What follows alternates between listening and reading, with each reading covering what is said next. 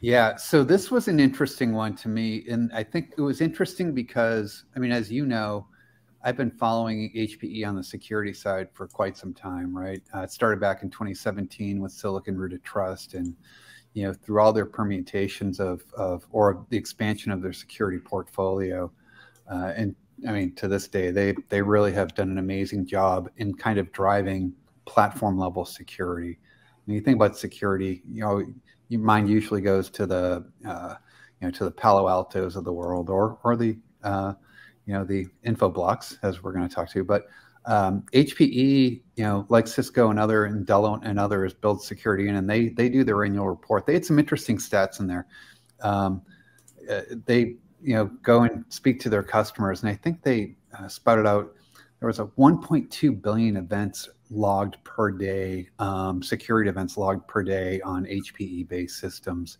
And that can be anything from an attempted uh, phishing attack to, uh, to ransomware to uh, DDoS kind of um, uh, attacks, right? So, um, but 1.2 events a day, they were, 1.2 billion events a day they were logging. Uh, and just, it's incredible to me. Yeah, that this, or yeah, here we go. I'm sorry, 2.6, not 1.2. Um, you know, they blocked one a th- over a thousand phishing attempts per day um, in their average customer.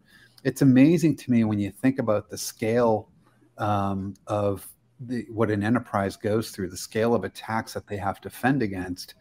And when you think about companies like HPE and others that kind of take all this work out of the, you know, out of the hands of IT and just automate the um, the response and support, how effective they can, um, how effective these tools are, and how invaluable they are to an, I mean, to an IT person like me. Um, it's incredible. So just I was staggered by some of the numbers, and I thought was certainly worth reading for IT folks out there um, what they've done.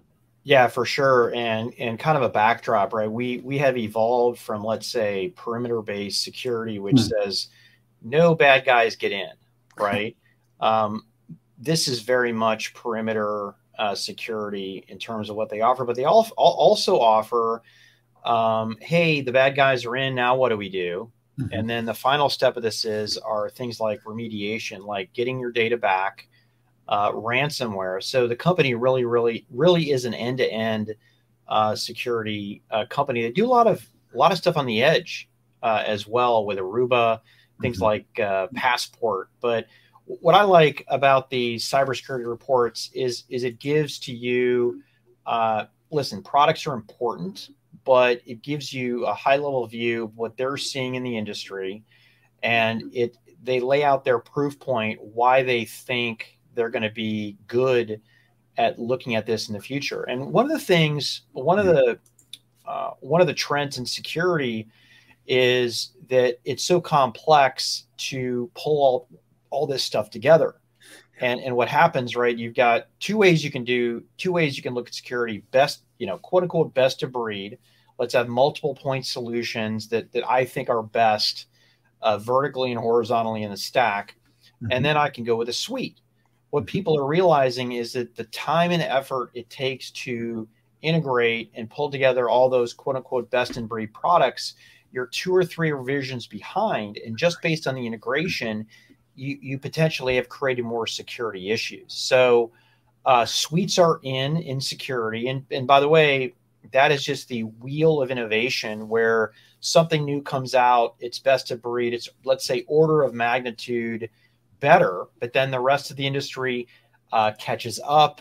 Mm-hmm. Um, uh, some I would say might be over serving that market, adding too many features yeah. right? That that are only used by maybe five percent of the end user base. But anyways, uh, nice to see HP leaning in there. And by the way, from a from a server uh, point of view, I mean, root of trust and all they're they're doing with uh, uh iLO is is impressive as well.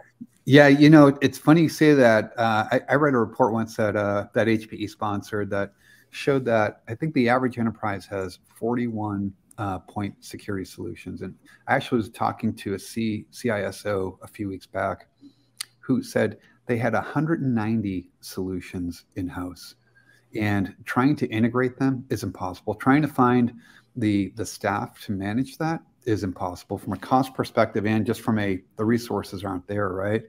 and, and to what you're saying on the, the HPE side, what I really like about what they did with Silicon Root of Trust is be, you're right beyond the perimeter once once you've been once you've been infiltrated and ransomware can sit for months at a time in an environment literally months at a time just bleeding data out slowly that's unrecognizable to a lot of solutions because they keep the traffic level so low but be, what they've done with silicon root of trust and iLO is they've made the detection of those kind of infiltrations near immediate yeah. um, so they shut it down almost immediately and it really reduces the cost. And by the way, they're not the only ones out there, but they really have led the market and have done a fantastic job with it.